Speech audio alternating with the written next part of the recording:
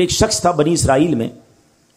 वो उसने निन्यानवे कत्ल किए। हदीस पाक का खुलासा है। Ninety nine murders. और उसके बाद उसे ख्याल आया कि यार, बहुत हो गया। कितने गुना करेगा? अब तो तोबा कर ले। वो एक राहिब के पास गया। सो कॉल्ड हैं, मौलवी साहब, उस जमाने के भी सो कॉल्ड होंगे। इल्म था नहीं। लुक्स लाइक बेशक हम भी आजकल हर दाढ़ी वाले को आलिम दीन समझ लेते हैं। बल्कि अब तो बगैर दाढ़ी वाले को भी आलिम दीन कहना लोगों ने शुरू कर दिया। ये अजब फिनोमिना चला है कि जिसकी मर्ज़ी वो इस्लाम की इंटरप्रटेशन कर रहा है और लोग उसे सुनी जा रहे हैं। अल्लाह के बंदों, आलिम दीन सही अकीदे वाले से बात सुनोगे तो समझ आएगी। ये हदीस भी उसी तरफ़ रहनुमाई कर रही है कि कहने को वो कोई मजहबी आदमी होगा, ये बंदा चला गया उसके पास। कहा हज़रत निन्यानवे कत्ल किए हैं? क्या मेरी तौबा कबूल होगी? वो बंदा उसने कहा, खुदा का खौफ कर। निन्यानवे बंदों का कातिल, तेरी तौबा कबूल नहीं होनी। उसने इस बंदे को अल्लाह की रहमत से मायूस कर दिया। अब वो पहले ही कातिल था, उसने कहा, चलो फिर सेंचुरी पूरी करते हैं। उसने इस राहिब को भी मार दिया। सौ कत्ल कर लिए। फिर ख्याल आया, नहीं, गलत किया। तौबा करनी चाहिए। फिर किसी आलिम दीन के पास गया। अब आलिम दीन ने कहा कि नहीं, तुम्हारी तोबा कबूल हो जाएगी, घबराओ नहीं। अल्लाह की रहमत से मायूस ना हो। ऐसा करो, फला इलाके में नेक लोगों की एक बस्ती है।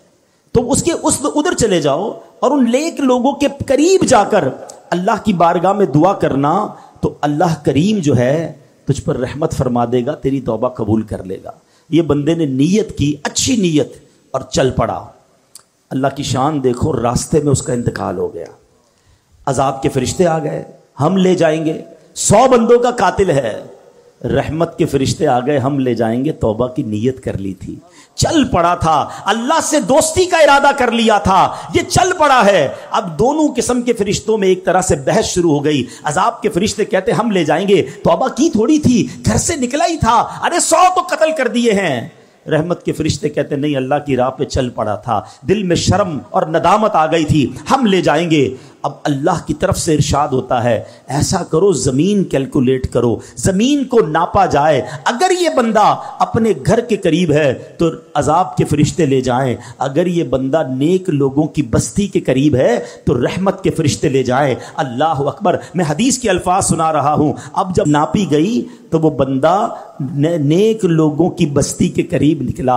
ओलमा कहते हैं ये जो ये जो प्लान था ना अल्लाह की कुदरत का प्लान था। एक्चुअली वो दूर था नेक लोगों की बस्ती के, मगर रब का हुक्म था कि ये बख्शा जाए, उसकी मंशा ये थी, ये बख्शा जाए। वो नेक लोगों की बस्ती और इसकी लाश के दरमियान जो प्लॉट ऑफ़ द लैंड थी, वो स्क्वीज हुई, वो कम हुई अल्लाह के हुक्म से। और जब नापा गया तो चंद फिट के फासले से वो नेक लोगों की बस्ती के करीब था, उसे रहमत के फरिश्ते ले गए, गोया उसकी बख्शिश हो गई। ये एक रिवायत बयान करने के बाद, मेरे प्यारे इस्लामी भाइयों, क्या पता चल रहा है?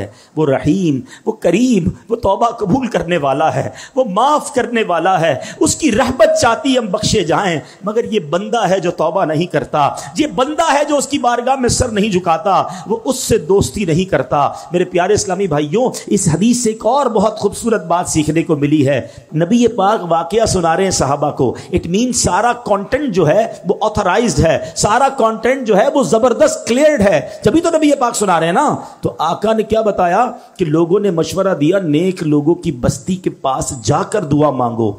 इट मीन्स कि अगर आज भी कोई अल्लाह वालों के पास उनकी, अगर उन, अगर हयात हैं तो उनकी सोहबत में जाकर दुआ मांगे। और अगर दुनिया से चले गए हैं, और उनके मज़ार के पास जाकर अल्लाह से दुआ मांगे, कि अल्लाह इनके सदके, नेक लोगों के सदके, मुबारक जगह के सदके, मेरी तौबा कबूल फरमा ले। तो जहाँ रहमतें बरस रही हो, उधर जाकर दुआ करना, उधर जाकर अल्लाह से मांगना, ये इस हदीस से साबित है। तो पता ये चला, अल्लाह वालों के जहाँ कदम लगे, अल्लाह वाले जहाँ इबादत करें, अल्लाह वाले वाले जहाँ मौजूद हों, अगर वहाँ जाकर दुआएँ मांगी जाएँ, अल्लाह मुझे और आपको बार बार मक्के मदीने की हाजिरी अता फरमाए मुकदस मकाम की हाजिरी अता फरमाए, वहाँ का सफ़र करके रब से जब वहाँ जाके बंदा माँगता है तो बिगड़ी बन जाया करती है।